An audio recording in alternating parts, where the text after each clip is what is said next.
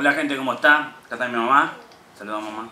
Vos tenés que ser como la mamá de Caro Tripar, viste que sale los videos, todo. Bueno, pero va a la peluquería antes. bueno, voy a la peluquería.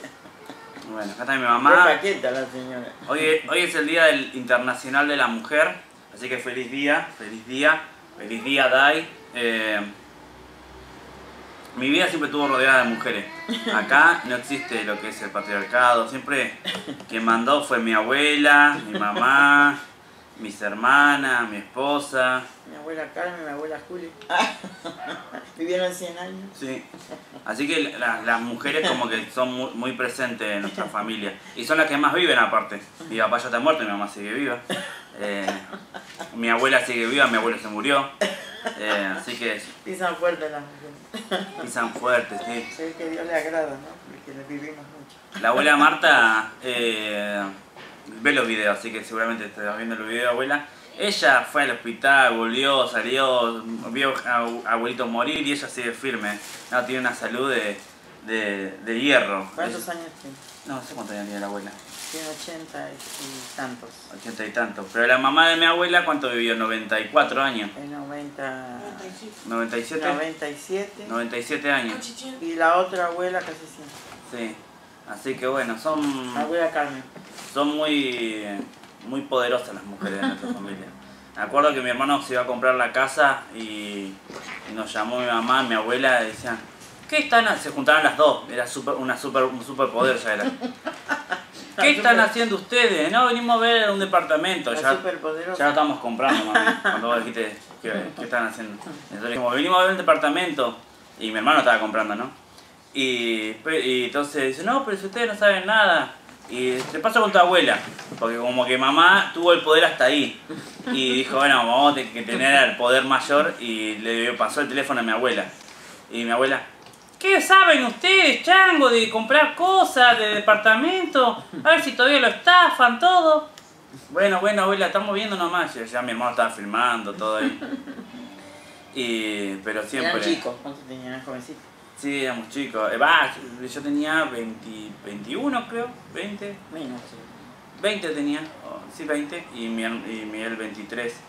Y mamá siempre estuvo para ayudarnos en todo. Mamá siempre puso el ejemplo. El ejemplo de estudiar, el ejemplo de seguir capacitándose, porque vos de grande empezaste a estudiar primero, la eh, primero eh, psicología social. Sí. Psicología social y después terminé. Porque antes no te permitían a la mujer eh, estudiar, digamos. Tenías que estar siempre en la casa. Y cuando yo terminé mi séptimo grado, yo quería seguir el secundario. Y mi mamá, y se respetaba lo que se decían los padres. Y mi mamá eh, dijo no, secundario no. O corte, confesión o peluquería. Y yo no quería ni corte, confesión ni peluquería estudiar. Entonces no estudié nada. No, con respeto, pero no estudié. En cambio mi hermana me obligaron en cierta manera y bueno, estudió corte y confesión. Pero bueno, cuando pasó el tiempo, bueno, después el tiempo de criar a los hijos, etapa, bueno, estuve con ellos y después cuando fui grande, quise terminar el secundario porque era uno de mis deseos. Siempre quise terminar el secundario. Y bueno, tenía un hijo que no había terminado el secundario y dije yo, bueno, yo voy a, una porque quiero eh, terminar el secundario y otra para darle el ejemplo a mi hijo, encima es el mayor, para que también él eh, estudie, porque diga, bueno, si mamá en grande pudo, yo también puedo. Pero mi deseo era eh, que también cuando van a entregar el diploma, eh, viste que siempre te llaman a quién le vas a dedicar, qué palabras eh, tenés por haber terminado el secundario. Y bueno, yo era mi pensamiento dedicarlo a mi hijo, el que no terminó el secundario. Pero bueno, eso no pudo ser. A vos, Miguel. y la manda al frente, ¿viste? Y bueno, eso no pudo ser, pero pude terminar y bueno, también dejar el ejemplo que con esfuerzo todo se puede y no interesa la, la edad. Así que bueno. Sí, nosotros ni nos enteramos que le estaban dando el diploma, nos enteramos tiempo después. Pero yo siempre vi un ejemplo en ella de, de agarrar y empezar a agarrar libros, empezar a leer, empezar a autodisciplinarse, porque eso es lo más difícil, el hecho de agarrar y, y tener una disciplina. Y siempre tuvo una disciplina esta mujer. Eh, en el ejercicio, eh, desde chico la veía ejercitándose y después de grande ya yendo al gimnasio por su salud, por lo que sea. Y también e, eso también a mí, yo por lo menos yo veo esas, esas cosas y digo, no, tengo que ser más parecido a mi mamá que a mi papá. Porque, bueno, ya, ya está muerto mi papá, dejémoslo tranquilo, pero eh, por lo menos ahora, dejémoslo tranquilo. Pero él no, no, hacía ejercicio, las veces que salió a correr salía, daba una vuelta y después ya el otro día ya no salía más con el otro panzón de su amigo. Pero mamá siempre, siempre fue disciplinada y, y eso es importante. Hay muchas personas que por ahí no tienen al papá y dicen, ah, no tengo papá, no tengo papá, pero por ahí tienes una mamá que vale por 20 y, y, eso tenés que rescatar porque es importante el hecho de ver qué es lo que tenés. O por ahí tenés un papá y no una mamá, pero el hecho de rescatar qué es lo que tenés alrededor, por ahí tenés hermano. Eh, si tenés a alguien alrededor ya tenés ganancia porque la familia es importante. A veces lo queremos tener medio lejos, a veces lo queremos tener más cerca, pero es tan importante eh, y, y, siempre uno se necesita. Eh, yo necesito de mi hermana, necesito de mi madre, de mi hermano y creo que ellos a veces me necesitan a mí también. Cuando yo dije que venía para Mar del Plata, mis hermanas eh, me dieron el ok. La que más me dio el ok fue Nara que dijo, ah, está bien, está bien, andate, no pasa nada, está bien, tu felicidad, andate. Mamá no, vos dijiste, fuiste sincera. Vos dijiste que te costaba. Dice que mamá no, te cuesta, más nosotros que Dios nos conserve siempre unidos. Eh, de pronto que se te va tu hijo, se va junto con su esposa, con el único nieto que tengo, pero bueno, eh, si uno ama a los hijos, aunque a uno a veces le duela, o a cosas que no entiende, eh, bueno, desearle lo mejor a los hijos, así que bueno, acá estamos. Acá estamos. Vamos a comer garbas. así que bueno, feliz día a las mujeres y gracias a las mujeres por ser tan fuertes porque muchas veces se dicen que las mujeres son débiles y yo lo he comprobado durante toda mi vida que las mujeres han sido súper fuertes. Cuando yo eh, incluso me he sentido débil, me he sentido mal. Ahí eh, estuvo Dai para, para, salir, para sacar adelante la familia, para trabajar, para darle de comer a Andy, a mí. Eh, muchas veces me ha pasado de deprimirme, no tener ganas y, y Dai a pesar de, de sentirse mal, flaquita como es y todo, se cargó la familia en el pecho y salió adelante. Así que son, son muy importantes, para mí son son personas muy valiosas y, y no las juzgo por ser mujer, sino directamente pienso que son valiosas porque son porque son así, son increíbles. ¿Habrá excepciones? Sí, habrá excepciones. ¿Habrá madre que abandona a sus hijos? Sí, habrá madre que abandona a sus hijos. Pero el amor de una madre no, no, no, no, tiene, no tiene lugar. Creo que es el amor más parecido al amor de Dios. Conocí una señora, estoy haciendo raro, ¿no? Pero conocí una señora que tenía el hijo preso y a pesar de que el hijo estaba preso, ella agarraba y, se hizo como madre de todo lo demás presos para llevarle mercadería y que las personas ahí eh, tengan un, cariño de madre. Y se iba muy temprano para que le dejen pasar a visitar a cada uno de esos presos. Ese amor de madre que no solo ama, a su hijo, también a lo demás, por más que el hijo se haya portado mal. Es el, amor más parecido a Dios que Él nos ama, a pesar de que a veces nos portamos mal y a pesar de que no somos perfectos, Él nos sigue amando por lo que somos, por quien somos. Así que bueno, nada. ¿Cómo están, gente? Bueno, les cuento. Estos días no salí en los videos porque estaba con mucho dolor de panza. No sé si me hizo mal los nervios del primer día de Lucas Andy eh, o los nervios de, de no sé, ah, de que Lucas Andy tenga que empezar el jardín, creo. Pues la otra es que también puede ser que me haya afectado un poco el tiro del pantalón que era muy alto y me apretaba mucho la panza, así que eh, puede ser eso también, porque justo me duele la altura que llegaba el pantalón ese. Así que o una lo voy a tener, tener que agrandar o lo voy a tener que dejar de usar. Igual no lo usaba nunca, por eso es que me duele, porque no lo usaba nunca y era muy chiquita la cintura. El tamaño del pantalón estaba bien, pero la cintura me parece que estaba mal confeccionada. Eh, bueno, eh, gracias a todos los que están ahí comentando, los que eh, están ahí haciéndonos el aguante. Recuerden que tenemos TikTok, que tenemos Instagram, síganos ahí también. Y bueno, ahora este fin de semana vamos a tratar, vamos a hacer lo posible de mostrarles eh, otras partes de Mar del Plata que no hemos mostrado en los videos anteriores. Eh, así, bueno, ven otra parte de Mar del Plata. Re redundante. Bueno, yo siempre le decía a mi esposa, yo voy a bajar de peso esta semana, y cuando llegaba el lunes, la próxima semana, eh, el domingo, y bueno, después voy a empezar, ya voy a arrancar. Pero yo era porque yo quería bajar de peso. No me había dado cuenta que había subido tanto de peso desde que me casé. Como cocinábamos para... Yo cocinaba como si fuera que cocinaba para seis personas y éramos dos nomás.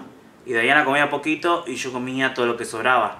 Y mi alimentación era muy básica. Era guiso, fideo con tuco, eh, mucha papa, mucha milanesa de pollo, milanesa de pollo, alita, alita, alita, alita, alita, alita, alita, alita hasta más no poder.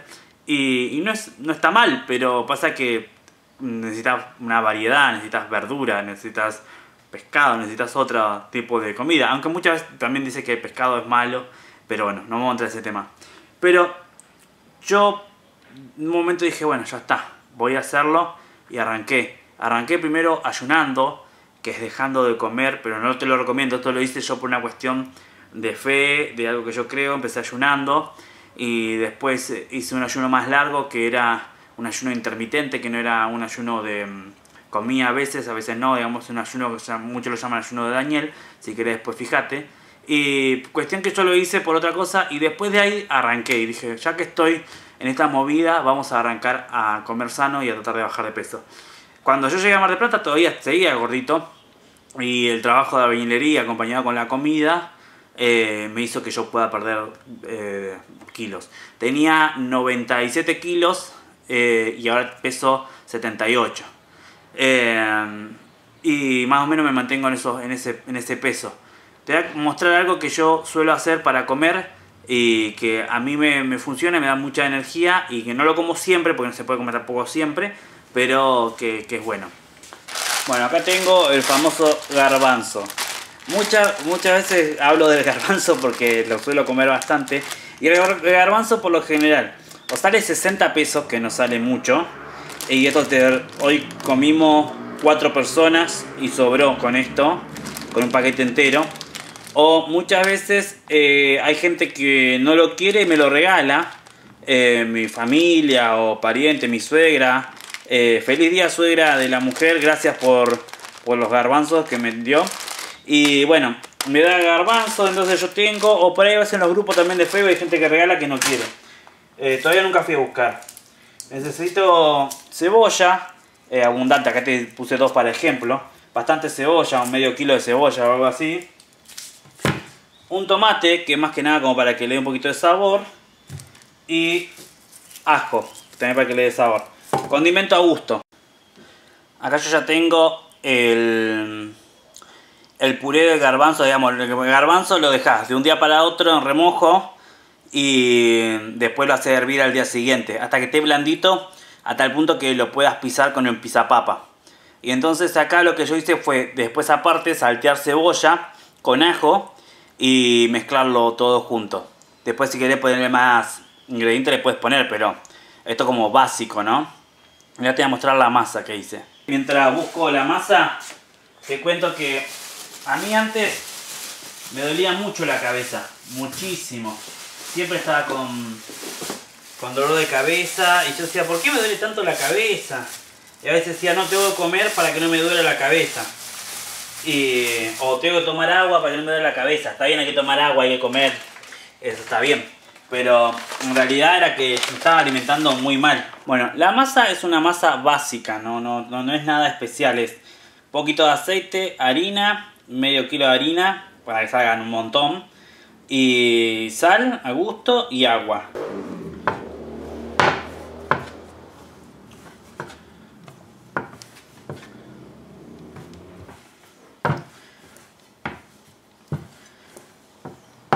Bueno, una vez que está así, que está bastante grande, más grande que mi mano, eh, ponemos un sartén en el fuego sin aceite, sin nada.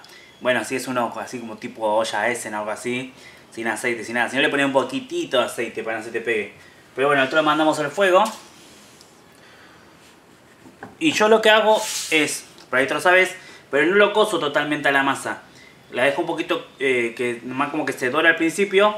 Y después ya le pongo el relleno y ahí cuando está en el relleno, ahí lo mando de vuelta al fuego para que se selle y quede durito. Y entonces no se desarma, nada, la tortilla no se te cae para ningún lado. Esto no sé si califica como taco o como qué. Vos decime ahí abajo si que para vos qué califica. ¿De qué es? ¿Extrañan a Diana en los videos? Yo también la extraño en los videos, Diana. Pasa que está ocupada, ¿vio? ahora está estudiando y... Pero se la extraña. Yo la extraño. ¿Ustedes la extrañan a Diana? Bueno, una vez que ya está así, agarramos una cuchara y ponemos el relleno a gusto. Está caliente la tortilla. Ponemos ahí. Igual a cerrar como más te guste, ¿viste? Porque acá, acá va a empezar la polémica. No, no se cierra así, podés cerrar de otra manera para que se pierda menos. Bueno, vos lo cerrás como quieras. Agarra tomatito, lo ponemos ahí. Acá le pongo la mano porque lo voy a comer yo. Ahí está. Tomatito si querés le puedes poner sal. Ahí está. Ponemos un poquito más de garbanzo. Ahí está. Más garbancito. Ahí. ¿Ves? Bien llenito. Lo doblamos acá, lo doblamos acá. Qué caliente que está esto, por favor. Y lo mando acá en la sartén. Está terminado. A ver, ¿le gusta? Digamos, como de pinta, no sé si tiene tanta pinta. Pero es eh, muy rico. Viste que a veces te dicen, tomate esto que te controla la ansiedad y demás. Esto, esto Está muy bueno porque yo me comí dos hoy de esto. Y todavía siento que comí hace ratito. Me siento totalmente satisfecho. Muchas veces, estoy muy consejero este, en el video anterior en este. Pero muchas veces estamos enfermos y demás y decimos por qué estamos enfermos y no nos fijamos qué es lo que estamos comiendo. Entonces si puedes comer sano, si puedes comer bien y puedes comer barato, hacelo. Porque comer verduras y comer fruta y demás es más barato que comer carne en esta querido país Argentina. Así que bueno, mira, ¿te gustó? Hasta acá el blog del día de la fecha. Mi nombre es Joel. Perdonen si ven mucho mi carita. Quiero que Diana esté más, pero... Diana, ¿andas por ahí? Sí, ando por acá, me duele panza. Pero a Diana le, le duele la panza. Así que nada, eso fue todo por el día de hoy. Chao. Y bueno, me, me, estaba olvidando. Feliz Día de la Mujer para mi mamá, para mi hermana Soledad, para mi hermana Victoria, para mi hermana Abigail, para mi hermana Damar y para mi hermana Daniela. Así que feliz Día de la Mujer para mi cuñada Tuti, para mi cuñada Nahara, para mi suegra. Eh, así que feliz Día de la Mujer. Mamá, te amo. Sabes que sos todo para, para mí en cuanto a lo que es eh, ser mujer, ¿no? Eh, y bueno, yo te saludo, un saludo de mi parte, te amo mucho, voy a llorar. ¡Ah! soy una llorona. No soy muy demostrativa, no soy muy demostrativa, mamá, perdón, pero vos sabes que te amo.